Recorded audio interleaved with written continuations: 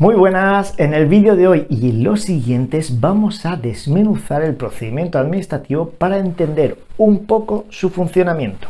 Como sabéis, el procedimiento administrativo, la parte general, viene regulada completamente en la Ley 39-2015. Pero el procedimiento no se entiende por completo sin muchos artículos de la Ley 40, la del régimen jurídico del sector público. Entonces, fijaros bien, el procedimiento administrativo como tal realmente no empieza hasta el artículo 54. Entonces, los artículos de antes, del 1 al 53, ¿para qué valen? Bien, fijaros, del artículo 1 al 53 de la 39, el artículo 5 a 14 y 23 y 24 de la ley 40 son preceptos que pueden ocurrir en cualquier momento del procedimiento administrativo. O sea, que cualquier persona física, jurídica, administración pública, eh, empleada o empleado público tiene que conocer antes de enfrentarse a un procedimiento administrativo, porque son cosas que pueden ocurrir en cualquier momento. Porque no viene desde la iniciación, ordenación, instrucción, etcétera, no viene regulado ahí que pueda caer una recusación, una suspensión, que haya una delegación de firma, que haya un. Eso no viene, eso son cosas generales que pueden ocurrir. Y de eso se encarga el artículo 1 a 53, 5 a 14, 23 y 24 de la 40. Son cosas que tenemos que conocer. Son normas generales para todos los procedimientos, antes de, iniciar cualquiera. Lo mismo que nos ocurría en la ley de contratos, que son cosas primero generales que tenemos que conocer de la ley de contratos y luego ya era el práctico para entender realmente la contratación. Aquí ocurre exactamente lo mismo, cosas generales y luego, conociendo estas, ya podemos meternos en el procedimiento administrativo. Así que vamos con ellas. Primero vamos a empezar por la ley 40 y fijaros en el objeto. Nos dice régimen jurídico, responsabilidad patrimonial, potestad sancionadora y la organización de la AGE. Oye Paco, yo me he leído la ley 39 de 2015 y en la ley 39, en la parte del procedimiento, nos habla del patrimonial y también del sancionador. ¿Y me estás diciendo que la ley 40 también? Sí, también. Las dos leyes tratan sobre el patrimonial y sobre el sancionador. ¿Y cómo lo hacemos para hacerlo bien? Pues realmente tendríamos que hacernos una chuleta con las dos leyes, con los artículos de las dos leyes que afectan a una cosa y a otra. No os preocupéis porque hablaremos de ello y haremos vídeo como tal. Una vez terminado lo que es el procedimiento normal, ¿vale? Como si fuese una solicitud normal, haremos un práctico de patrimonial y haremos un práctico de sancionador. No preocuparse que lo haremos. En el artículo 3 tenemos los principios generales del régimen jurídico que nos dicen que las administraciones públicas sirven con objetividad a los intereses generales y actúan con unos principios de eficacia, jerarquía, descentralización, desconcentración, coordinación, con sometimiento pleno a quién? A la Constitución, a la ley y al derecho. Y esto suena, ¿verdad? ¿Dónde lo habéis leído antes? En el artículo 103 de la Constitución, que el artículo 103 de la Constitución es lo que habilita para tener administraciones públicas y como tal su creación y sus normas de desarrollo. ¿Vale? Una de ellas, artículo 103.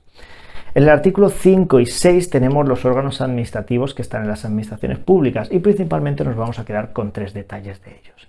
El primero, que tendrá la consideración de órgano administrativo las unidades administrativas a las que se les atribuyan funciones que tengan efectos jurídicos frente a terceros o cuya actuación tenga carácter preceptivo. ¿Vale? Efectos jurídicos frente a terceros y actuación de carácter preceptivo. Posible pregunta de examen no podrán crearse órganos que supongan duplicación de otros ya existentes si al mismo tiempo no se suprime o restringe debidamente la competencia de estos. Pues básicamente no podemos tener dos órganos administrativos iguales y que se vayan a encargar de lo mismo sin que se repartan las competencias, ¿vale? Cada uno que se ocupe de una cosa. Y por último, estos órganos administrativos se dirigen a través de instrucciones y órdenes de servicio. El incumplimiento de estas instrucciones y órdenes de servicio no afecta como tal los actos ya dictados, pero los empleados o empleados públicos que se hayan saltado esas instrucciones pueden caer en responsabilidad. En el artículo 7 tenemos los órganos consultivos, órganos a los que cualquier administración pública le va a consultar dudas o cuestiones que tenga. Estos órganos no tienen que estar sujetos a la independencia jerárquica de la administración pública que le está preguntando, ni tampoco pueden recibir instrucciones de esta para su resolución o para lo que sea. ¿Por qué? Básicamente porque se estaría completamente viciado lo que fuesen a decir. Simplemente porque si estás diciendo a un órgano consultivo lo que nos tiene que, resolver, pues ya hemos acabado.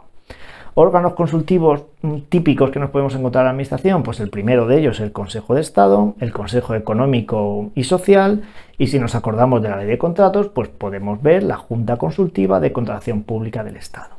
con eso nos vale. Ahora vamos con algo fuerte. Vamos a la competencia del artículo 8 al 14. Vamos a entrar directamente en el, en el artículo 8 y 14, ¿vale? Que tenemos frases importantes. La primera, la competencia es irrenunciable. Y eso es una máxima que tiene la administración, en este caso en el procedimiento administrativo. La competencia que tienen los órganos administrativos es irrenunciable, salvo que se delegue o se aboque, por, salvo por delegación o abocación. Si en algún caso no se especifica quién tiene la competencia sobre un asunto, se entenderá que la tiene el órgano inferior por razón de materia y territorio. Ojo con esto, porque la, materia y el territorio es sinónimo de nulidad, ¿vale? De la ley 39. Yo sé que la habéis echado un vistazo y esto suena bastante. Cuando algo se dicta por fuera de materia o de territorio, es nulo de pleno derecho. ¿Vale? Y si hay algún asunto que no se tiene muy claro por razón de materia o de territorio quién lo va a hacer, pues lo hace el inferior jerárquico de todos estos. Y si hay varios, pues el superior de esos inferiores jerárquicos, el de arriba. Ya está. Además, si un órgano administrativo que se estima que es incompetente para resolver un asunto, lo pasará directamente al que estime competente. Y si es un interesado que sea parte del procedimiento, que esto es importante, tiene que ser interesado y que sea parte del procedimiento, el que se da cuenta de que ese órgano administrativo no es competente, le podrá instar para que lo pase al competente o podrá decirle directamente al que él cree que es competente que haga el favor de decirle al otro que haga una inhabilitación, una inhibición para que le pase el, el asunto. Vale. Tienen que ser interesados y que sean parte del procedimiento. Otra más es que los conflictos de atribuciones, y esta es importante, solo podrán ser de un, eh, entre órganos de una misma administración que no estén relacionados jerárquicamente y sobre asuntos que no hayan finalizado. O sea, que la competencia solo podrá darse conflictos de una administración solo de una misma administración, ¿vale? No relacionados jerárquicamente. ¿Por qué? Porque si están relacionados jerárquicamente, ¿quién se va a encargar? El superior de decir a quién, a quién le toca hacerlo. Y en asuntos que no haya finalizado, que esto tiene su lógica. Con eso de la competencia del artículo 8 y 14 nos vale. Vamos a pasar a conocer las cinco figuras que hablan sobre la competencia, muy importantes de cara al examen. La delegación de competencias, la vocación, la encomienda de gestión, la delegación de firma y la suplencia. Todas ellas son susceptibles de ser preguntadas en el supuesto práctico, más en el supuesto práctico que en el bloque de teoría general, por lo que tenemos que tener muy claras las diferencias entre ellas. Vamos a empezar a poner, yo os lo pido, en vuestros apuntes que al lado de delegación de competencias y encomienda de gestión pongáis un paréntesis así bien grande y pongáis publicación. ¿Vale? Porque es la típica pregunta que nos pueden hacer. Para, la delegación, que, para que la delegación de firmas surta efecto, ¿es necesaria su publicación? ¿O se podría haber ejercido la suplencia sin la necesaria publicación? Y claro, ya estamos en el examen, estamos con los nervios, estamos con este tema de la competencia y nos surgen muchas dudas. Pero teniendo claro que solo se tiene que publicar en el diario oficial que corresponda, en la delegación de competencias y en la encomienda de gestión, ya no nos pueden pillar. Solo esas dos figuras tienen publicación. El resto, para poder ejercerlas, no hace falta. ¿Vale? Así que vamos con la primera, la delegación de competencias. Y la vamos a hacer todo en modo resumen. Delegación de competencias entre órganos de una administración cuando no sean jerárquicamente dependientes se puede dar sin ningún problema. Los que vais a la 2, una buena leída a las aprobaciones sobre este asunto cuando se da la delegación de competencias entre órganos no relacionados jerárquicamente. ¿vale? Se puede dar la delegación de competencias entre órganos relacionados jerárquicamente y entre los que no. Pues los no relacionados jerárquicamente, darle una leída, ¿vale? Para entenderlo bien por si acaso en el desarrollo. Ahora vamos a tres posibles preguntas de examen que nos pueden hacer sobre la delegación de competencias, muy importantes. La primera de ellas, no se va a poder delegar nunca. No se podrá delegar la competencia de los siguientes asuntos. Las jefaturas del Estado, lo que tenga la presidencia del gobierno, las de las Cortes Generales, la de las presidencias del Consejo de Gobierno de las comunidades autónomas, las las asambleas legislativas de las comunidades autónomas y las que así venga determinado por una norma con rango de ley. ¿Cuál de las siguientes se puede hacer una delegación de competencias o cuál de las siguientes no se puede hacer una delegación de competencias según la ley 40-2015? Pues todas estas, Y eso hay que tenerlo claro.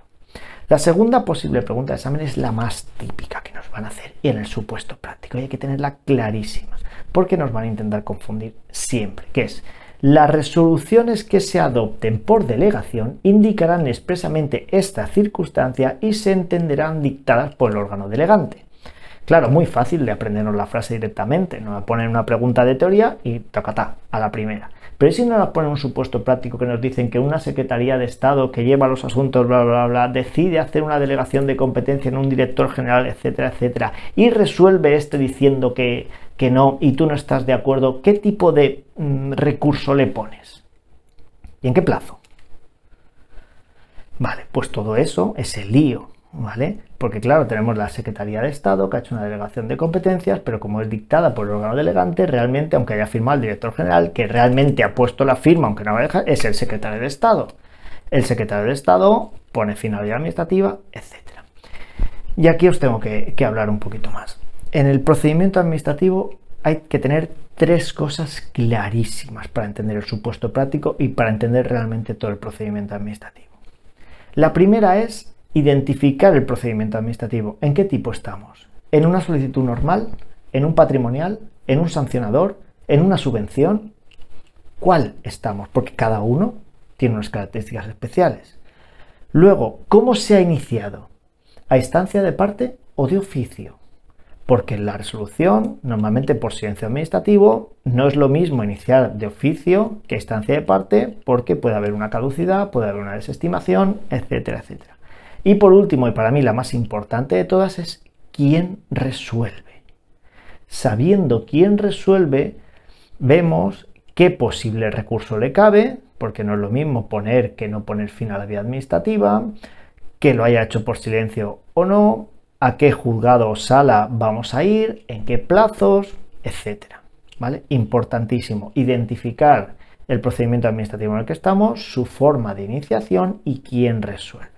Y esta, por eso, en esta segunda pregunta es la más, típica, porque nos va a intentar confundir con la delegación de competencias, que se entiende siempre firmada por el órgano delegante. Y ya tenemos la segunda. La tercera pregunta es que no podrán ejercerse competencias que se hayan delegado salvo que una autorización, que, salvo que una ley así la autorice. O sea, ¿se podrán delegar competencias ejercidas por delegación? No, salvo que una ley lo autorice. Vale, y para finalizar, la delegación de competencias será revocable en cualquier momento.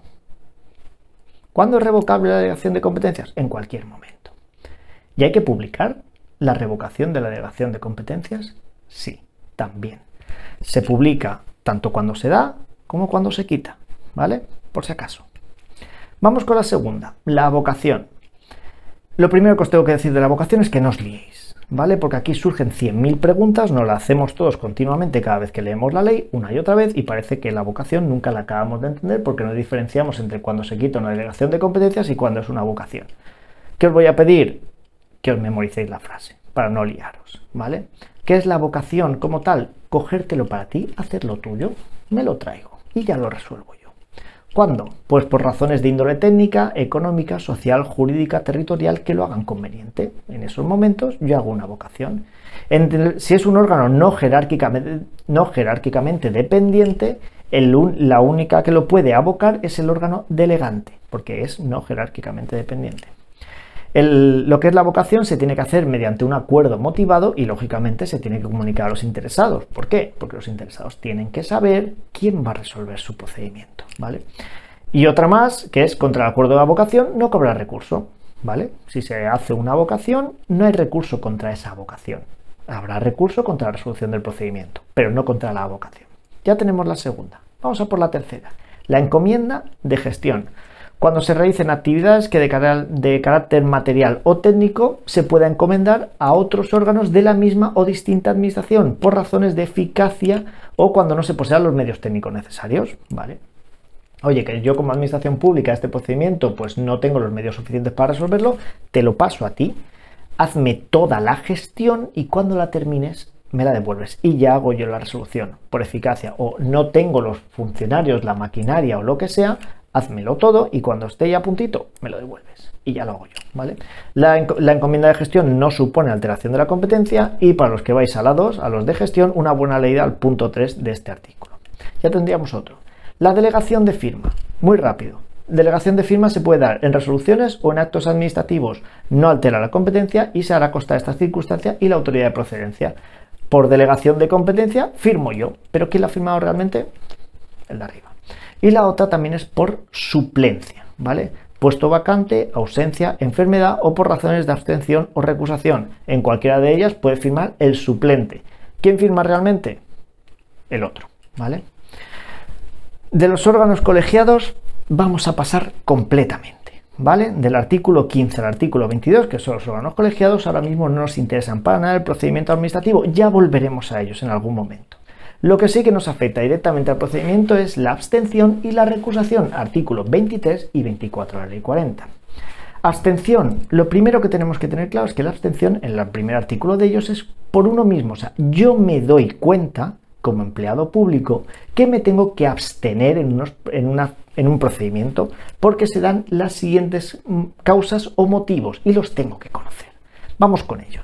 Lo primero, me tengo que abstener, abstener, cuando tenga interés personal en el asunto del que se trate o en otro cuya resolución puede influir aquel, ser administrador de sociedad, que me interesa a lo mejor para mí, para mi bien, o entidad interesada. O, ojo con esta, tener cuestión litigiosa pendiente con algún interesado. Fijaros, pregunta de examen que hubo hace un tiempo. Haber tenido cuestión litigiosa con un interesado. Haber tenido no es lo mismo que tener cuestión litigiosa pendiente. Haber tenido y se ha cerrado, ya no hay motivo de abstención. Tener cuestión litigiosa pendiente sí es motivo de abstención. Y ahí jugaron y ahí cayeron o caímos muchos, ¿vale? Tener vínculo matrimonial o situación asimilable de hecho parentesco, ¿de qué? Cuarto grado de consanguinidad, segundo afinidad vemos las tablas de las relaciones de parentesco para tenerlas muy claras, ese cuarto de consanguinidad hasta dónde lleva y ese segundo de afinidad. O con cualquiera de los interesados, administradores de entidades, sociedades interesadas, compartir despacho profesional, estar asociado, etcétera, etcétera. Cuarto grado de consanguinidad, segunda afinidad, que es lo que no preguntan. Tener amistad íntima o enemistad manifiesta con algunas personas mencionadas en el apartado anterior, cuarto grado de consanguinidad, segundo despacho profesional, etcétera, etcétera. ¿Vale? Porque fíjate que a mí me, esto es la típica, ¿vale? Que me llega la solicitud de jubilación, pues de, mi, de mi cuñado. Y yo a mi cuñado no lo puedo ver ni en las comidas de Navidad, ¿vale? Entonces, ¿qué hago? Digo, hago lo imposible para que no le den la pensión de jubilación y que se aguante, ¿vale? ¿Yo qué debería hacer como empleado público? Tengo una enemistad manifiesta con esta persona, o eh, tengo un interés personal o cuestión litigiosa pendiente con él, tengo millones de cosas que se me pueden ocurrir. Pues yo como empleado público profesional que soy debería de abstenerme, se lo comento a mi superior, le digo, mira, yo esto no lo puedo resolver porque nada más de ver su nombre lo único que me dan ganas es de romperle los papeles. Así que te lo dejo aquí, pasas al otro compañero. Mi superior que me puede decir, oye no, Tú como profesional que eres, resuélvelo como si fuese uno más. No veo aquí que te tengas que abstener por esto. O directamente puede decirme, sí, lo veo conveniente, que lo haga otro. ¿Vale? Amistad íntima o enemistad manifiesta. Haber intervenido como perito o como testigo en el procedimiento de que se trate, bien. O tener relación de servicio con persona natural o jurídica interesada directamente en el asunto. O haberle prestado servicios cuando, también aquí, los dos últimos años de cualquier tipo, circunstancia o lugar ¿vale? Dos años, que a veces cae.